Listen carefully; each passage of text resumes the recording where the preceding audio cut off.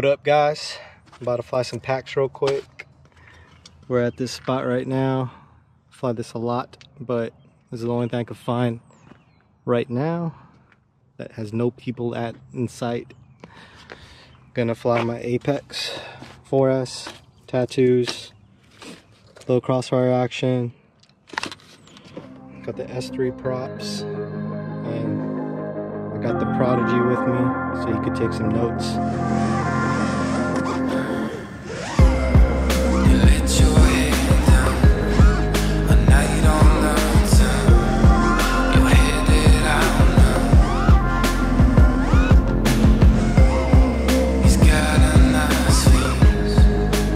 outside